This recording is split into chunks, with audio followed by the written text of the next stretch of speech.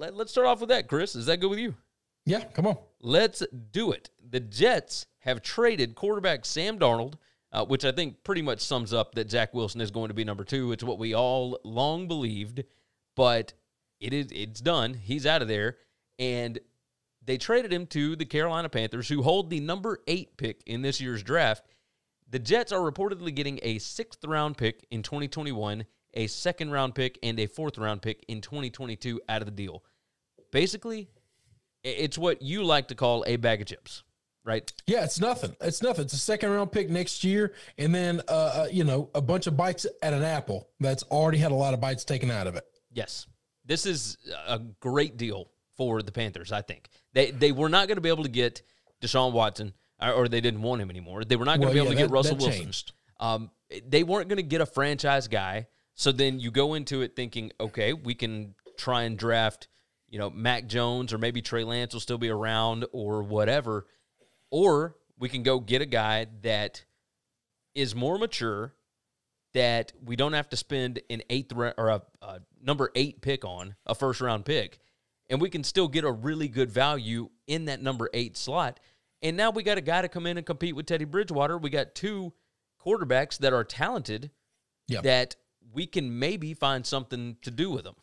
Two I like first this. round guys that that have had sparks of of flashes of of, of genius genius and and sparks of uh, of showing that they can be the guy but have had a lot of issues and problems either maintaining that or whatever it's it's really easy to give Sam Darnold a blanket just pass on his whole career so far with as inept the Jets have been.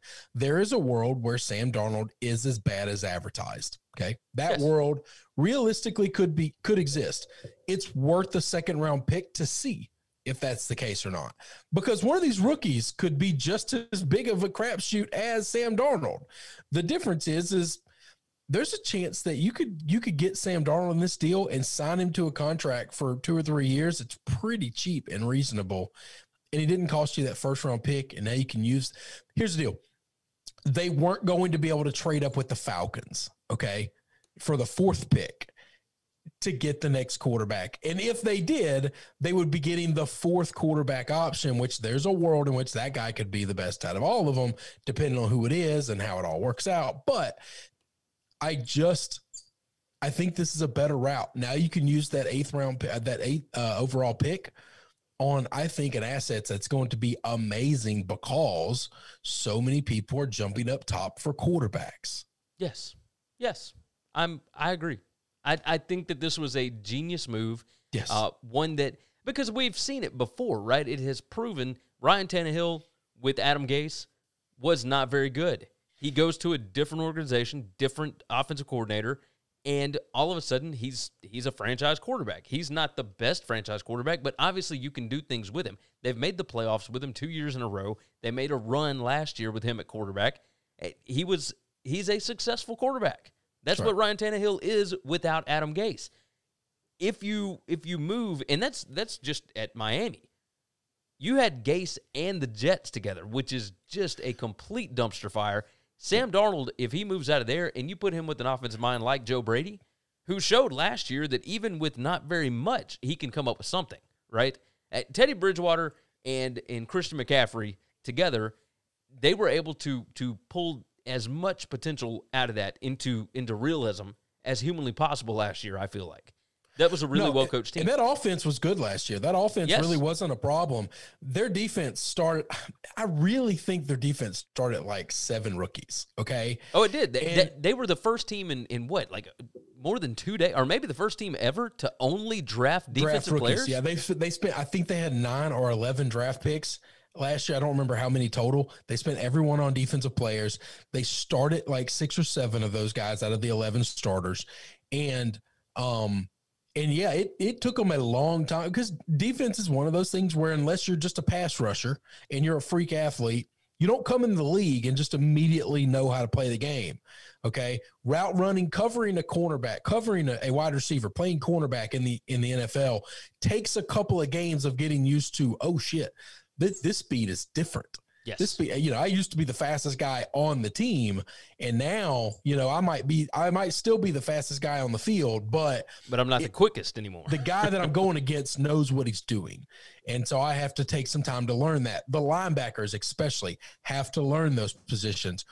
It took them a little while. This offense was rolling pretty good even without McCaffrey, which is why you know how I feel about these things. I would just I know it's hard to let them go but there's no way I'd spend that much money on a running back. I oh, just I, I just go find another running back, man. I understand. I, I get it. Uh, Taylor jumps in. He told you it's uh, time to buy a Nick Castellanos jersey. Castellanos is that who's it? Yeah. Uh, yeah. yeah. It, was a fun weekend. Uh, yeah. Brad's crazy life. I think Sam is a B plus. Uh, excuse me, B plus player. Uh, and then Ryan McCracken. Jets logic is to draft a quarterback every three years. Every uh, three years. It, it hasn't changed. the problem. Like, Let's just keep replacing this one thing over and over and over again. That is taking a guy that has never made pizza before in his life and who doesn't know how to follow a recipe and just replacing the oven every year. Okay, let's buy this $50,000 pizza oven from Italy. Oh, that didn't work. Well, let's buy another one. No, let's not replace the chef. Let's not try to get some better flour. Let's not try to get good water. Let's not get make sure our yeast is good. Let's not actually make our ingredients good. Let's take the most important thing and the most expensive thing and let's just keep turning it out over and over and over again in hopes that maybe we can get one that's magic. I like the magic idea. McKinnon jumps in. Think we're fixing to see Darnold's real potential. I still say he's severely underrated, and no yeah. one was going to look good under the Jets' leadership that was there. The one thing I do yep. hate is I actually like Teddy Bridgewater as a quarterback. I think he's good. I I'm very curious to see in a camp, in a full camp that I think we're going to get in the NFL this year. Head, to, I'm really glad this happened before the draft. I'm there's no reason that him and Teddy shouldn't both have access to the same playbook, both have access to the same guys. I want to see what happens in camp, who wins this quarterback battle, because I actually still like Teddy Bridgewater a lot. Yeah, no, I'm I'm with you on that. I I do wonder just a little bit what this means for Mac Jones. Uh, because of course last week all the talk was the 49ers are going to take Mac Jones. I don't know that that's necessarily the case. it wouldn't surprise me one way or another, but I, I could see Mac Jones now going anywhere from three to late first. I mean, anywhere around there, it could be possible because it was widely thought that you had to get above the Panthers to be able to grab Mac Jones because everybody thought that the Panthers were going to take him there. And and now if they've got Sam Darnold, they just spent some draft capital to get him. There's no way that they draft a quarterback at eight, right? Well, no, no, no. They're out of the quarterback business for this draft. Yeah. Now that doesn't mean that they wouldn't necessarily trade that eighth pick. Uh, but I don't think the eighth pick is going to have any value. I think so. There's been a lot of talk that the the Falcons might be shopping the four pick. Um, if they are not completely so, I I've made it clear I don't think they're taking the quarterback. Their new contract says the way rookies work, you would basically waste the whole rookie deal on somebody. All of your years of cheap quarterback on on drafting the guy and letting him sit behind Matt Ryan for the next two to three years, which is what that contract says we're going to do. The way they've structured it with Ryan, I don't think I don't think they're in the business of quarterback this year. Um, so there there talks about if they don't take Pitts, which a lot of people are leaning them to take, trading it away because somebody might make them a, a, Super Bowl offer for a quarterback, pending three quarterbacks go the top three. There are four quarterbacks in this draft. Do I want you know, to take a chance on that guy falling to me, or do I go up and get him? It's a, and it doesn't matter who it is. I mean, it could be Lance Lynn left sitting there. It could be it could be Fields sitting there, but but somebody is going to to to spend a fortune, I think, to get up and and go get that guy. Um, is is what I believe, and and so I don't think eight has a has a value to trade back at all. Um, so well, you, you never know. Like say Penei Sewell is still sitting there at eight for whatever reason. Uh, if somebody wanted to trade up for that, uh, say Trey Lance or Mac Jones or somebody is still sitting there, and the Broncos decide that they want to go and get their quarterback. Yeah, hey, but the Broncos pick ninth. I mean, what? Uh, agreed, agreed. But you know, yeah, yeah, you, would be mad if if you didn't trade up, but you don't want to pull them. You don't want to pull pull a Ryan Pace here. You agreed. don't you don't want to give away extra first round picks, which is what you would have to give up, by the way, to do that to move up one spot because you think somebody else might jump in front of you. You got to have multiple plans for multiple things. I I tend to agree with you. I tend to agree. This is this is mayhem. I'm glad that we're getting these deals done well ahead of the draft. Me too. So that we can at least have time to talk about it and dissect it, you know? Well, yeah, you can kind of start strategizing of what the draft's going to look like instead of draft day trades. Uh, here, here's the, here's the other thing that I that I think about too. I like I mean I've said this before. I like the idea of keeping the pick if you're 8 because you're not a team like the Bengals that have a ton of needs, okay? You're not.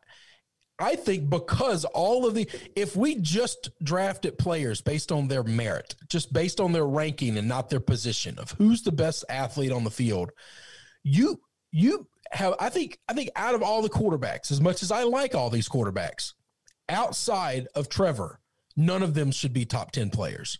I think there are nine other athletes in this draft that are more important to winning football games. They just don't play quarterback.